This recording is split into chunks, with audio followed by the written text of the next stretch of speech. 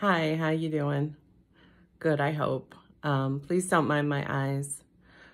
Unfortunately, with spring and fall these days, it seems that due to my hay fever allergies, I keep getting like eye infections around those times, and it's no big deal.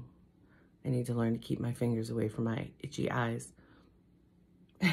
Live and learn, right? Roll with the punches. It's inconvenient and I can't really see well right now because I have an antibiotic gel in it. So, but in any case, hopefully it's not too much of a distraction. I wanted to come on here today to share a little story. Um, it's not a personal one. It's a story about the idea around good and bad. Okay.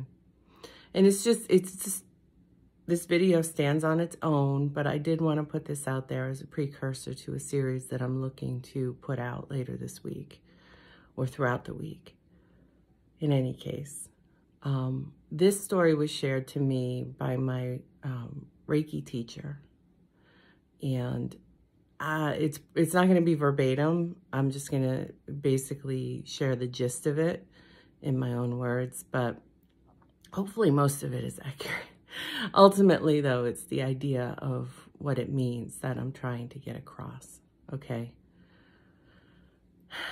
Because in especially with everything happening in our world right now, a lot of times things are perceived to be good or bad depending on our internal belief structures and or even our surroundings and the people around us and, and what they tell us is good or bad how we were raised. Every, I mean, it all comes together in what our perception is. Also, you know, what we choose to focus on. That doesn't mean bury our head in the sand and not pay attention. But sometimes we just have to be mindful of how much attention we're paying and in what areas. And that's where, you know, as I've said in other videos, balance is really important. But that's not what this video is about. I just like to tie things together in nice little packages when I can. So this story, okay, again, is about good and bad and our ideas around what that is, okay? So I'm going to start with, let's say it's early 1900s. I don't know. And there's this farmer lives in a remote village somewhere in the world and he has a son, and it's just he and his son. His son is coming of age. The world is in turmoil. Maybe going off to war. I don't know. In any case, he's a poor man, humble man. Okay, I don't want to say poor. He's humble. Uh, and there's not a lot of people in the village, but they, they do try to rally around each other. So one day he discovers that this stallion out of nowhere moseyed into his fence, fenced in area, corral. And um, I just thought a happenstance. It, it was not, he didn't try and lure him in. It's just he woke up one morning to feed his chickens and saw that there was a stallion where he had no horses at all. And this was considered fortuitous um, by his, the, his fellow villagers. So he shut the stallion in and um, this was this was exciting. And the villagers came and celebrated with him and said, this is good. This is good that you now have the stallion. And, and the man, the older man was like weighing his hands like a scale. And he was kind of like, good, bad, I don't know. Right? So he had the stallion and he fed him for probably, I don't know, a couple months or whatever. And it cost him because, you know, he had to feed him and everything. And then one day the stallion breaks down his fence and disappears.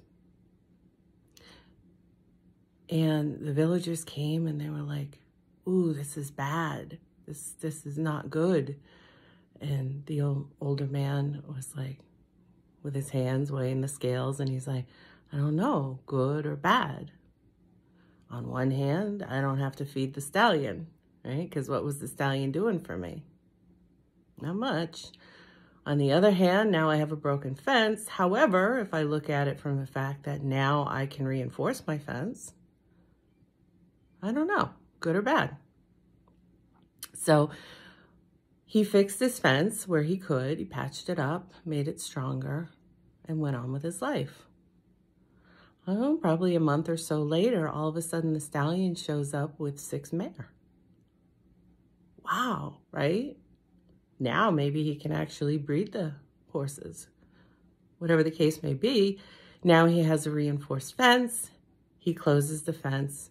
He has the, the stallion and the mares now, and they can't get away because it's a reinforced fence. The villagers show up. Wow, you are so lucky. This is fortuitous. This is awesome. This is, this is very good. And the older man was like, I don't know, good or bad. It is what it is right? And during this time, his son gets drafted because there's a world war that broke out, right? And, well, not happy about that. But again, good or bad, everyone's on their own life path, right? So one day his son goes out and he starts riding the horse, one of the horses, one of the mares or whatever, or the stallion. And, and he ends up getting bucked because the horses weren't tamed and he was trying to tame them and he gets bucked and ends up losing his leg because it went septic, whatever the case may be. They were remote, didn't have medical care. And the, the villagers came to help out where they could. And they were like, this is bad. This is bad. And the older man, the father, was like, I don't know, good or bad. It is what it is. And then they find out that the, the people, the platoon that his son was supposed to go with, they all ended up dying in war. I don't know, good or bad, right?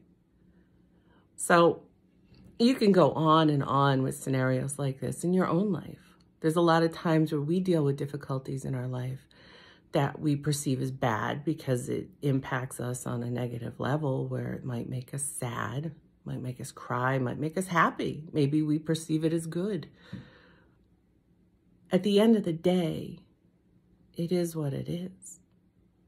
What creates the good and bad is our perception around it, our subjective representation, if you will. How do I choose to look at this?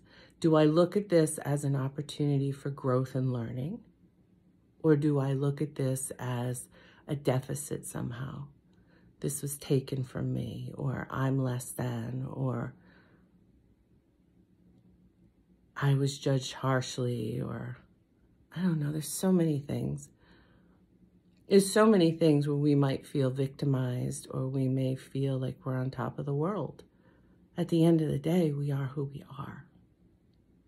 And what puts us in our fields oftentimes is the belief structures and systems that we have around that. And oftentimes what shapes those beliefs are our experiences and interactions with other people. If you think of early childhood development, right? Some say in the first like five, six years, we're a human sponge. We don't have a filter when we're little. So we don't have discernment of what we internalize and what we don't.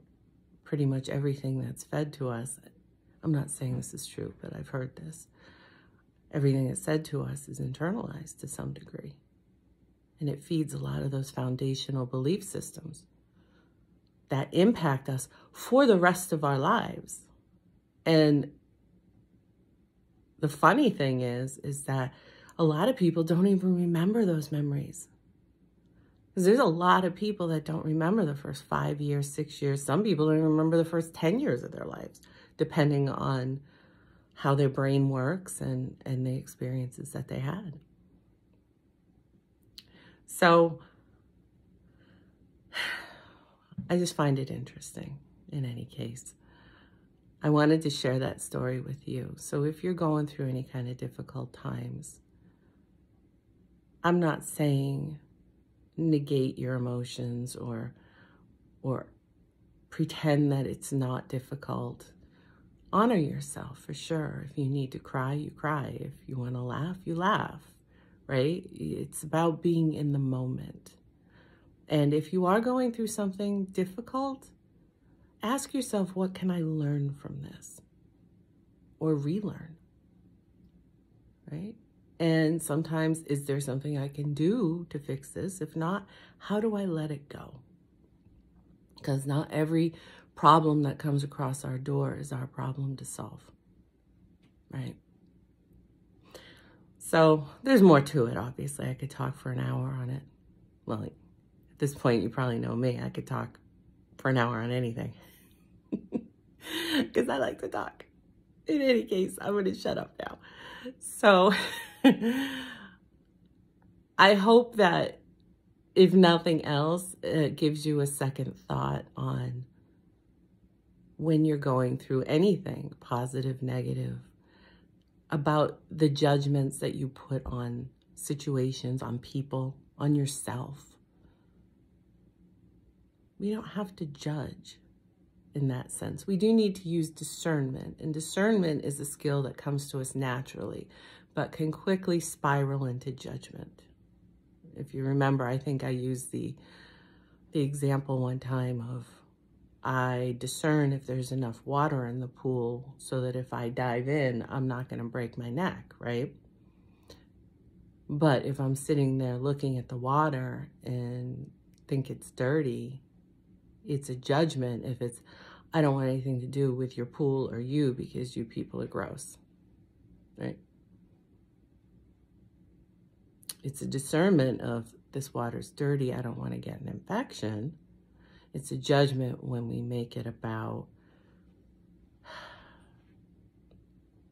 well, I gave the example. Call it what you will.